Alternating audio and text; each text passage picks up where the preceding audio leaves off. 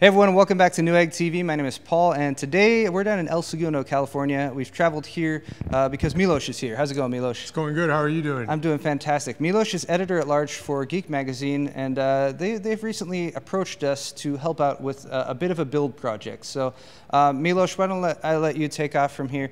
Uh, what is the build project, and why are you guys doing it? Um, the idea behind the build project is to create an ultimate gaming machine, basically. Okay. Um, the concept is to create an overclocked system Mm-hmm. with uh, water cooling, full custom water cooled loop, and a couple objectives we're trying to accomplish with this build. First is um, getting the system put together, which will allow for a maximum FPS rate available. Okay. As you know, out of the box, uh, even modern graphic cards and CPUs and motherboards do really well, but there's there's always you, something you, You, can do you can more. always push them a bit further. definitely. Exactly. So Geek Magazine caters caters to those enthusiasts and, and tries to cover that scene uh, on many levels. So that is kind of the motivation behind this build. Okay, so uh, we got a really nice system set up. Uh, we're going to be doing a uh, custom. I should. I was going to say closed loop. We're going to do a custom water cooling build in this. Um, and then uh, there's actually going to be some follow up. So what you guys are going to be watching today uh, is a bit of the build process. If you guys are interested in setting up a, a custom loop, we'll be showing you guys a little bit of that uh, assembly process today. And then uh, the, the folks at Geek Magazine are going to be taking the system, going to be overclocking it, kind of pushing it as far as you can go, seeing what kind of frame rates you can get. Uh, especially you were mentioning before, um, as, as you guys get more into uh, higher frame rate gaming, if you have a monitor with like a higher refresh rate, such as 120 hertz or 144 hertz, playing at those higher refresh rates requires a lot more graphics horsepower. So we're doing uh, an SLI configuration in the build, and uh, yeah, once it's all coming, once it's all uh, put together, um, do you think maybe you guys, you guys could bring it by our Newegg TV studios? We'll take a closer look at it there. Oh, absolutely. Okay. We, we'd love to bring the finished system and show what we managed to accomplish both with overclocking, that's going to allow you higher frame rates, um, higher general operation of the machine, but the water cooling aspect will also give us the opportunity to run um, the completely stressed out system uh, for an extended period of time. Because in a closed loop environment, um, gaming under those conditions for X amount of hours is not going to affect the performance So if- at all. If you're going to be overclocking, you definitely need enhanced cooling along with that. So that's uh, a, a, a big a big way that we're going uh, about this system, the build process in general.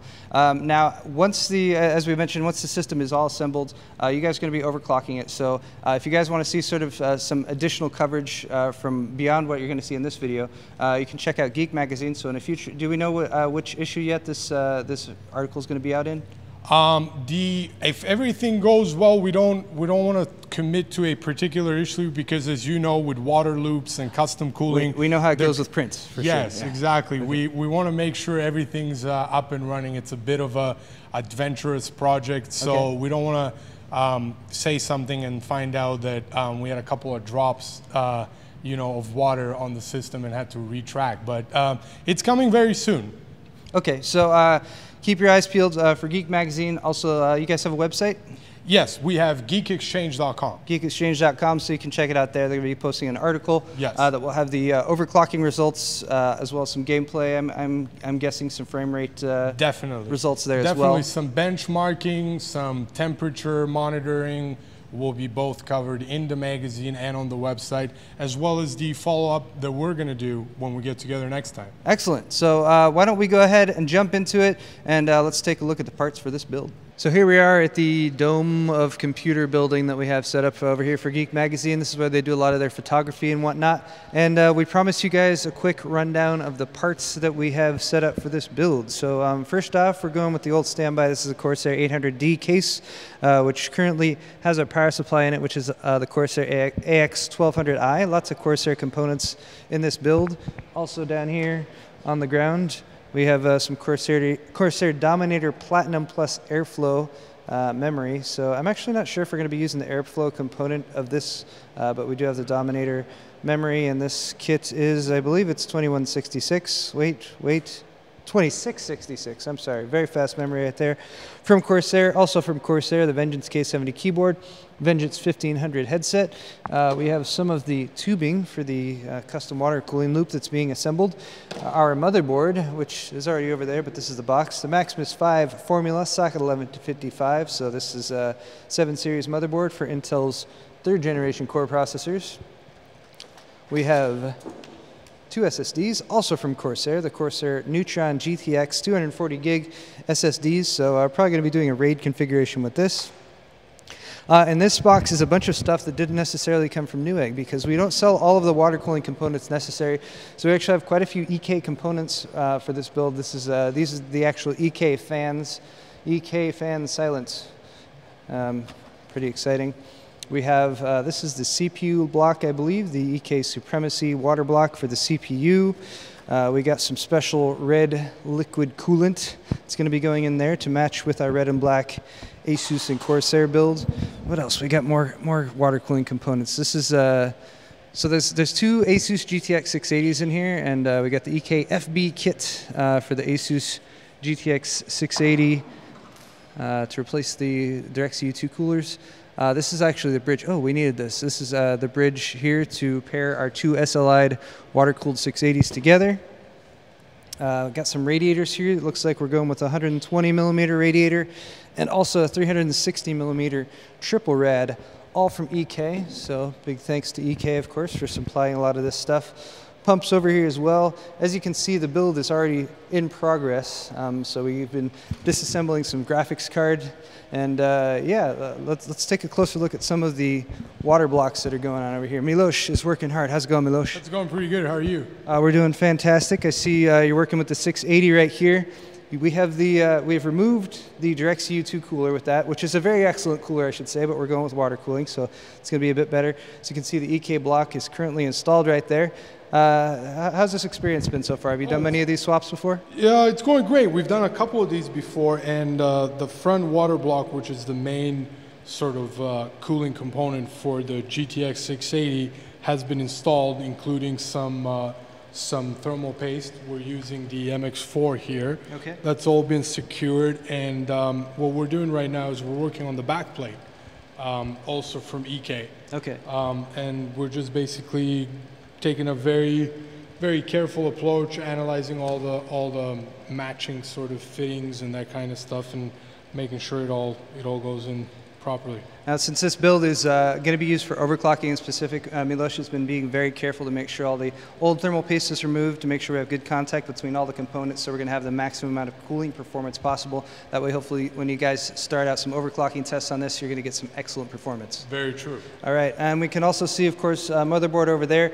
Uh, we also removed the uh, water block from that, replaced it with the EK version. Uh, that's just going to help everything kind of blend in nice and smoothly. And yeah, we still got lots of work to go. So we let's do. let's get to it. We do. So far, it's been moving really well. All right. Let us proceed then.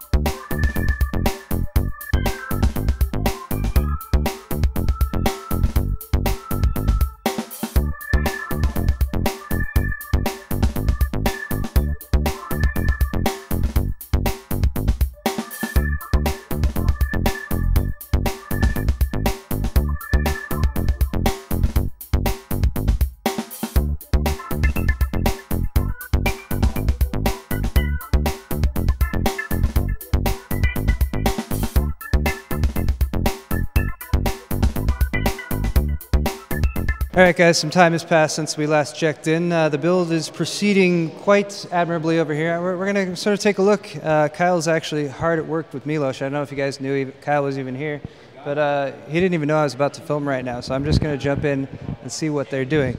Hey, hey, Kyle. Kyle Hello. how, how's it going with the build? It's good. We're almost done. We're setting up the loop. Nice. Uh, they're running tubing, as you can see. Kyle, I, I, I do have some bad news, unfortunately, for you. What's that? We, we need to leave.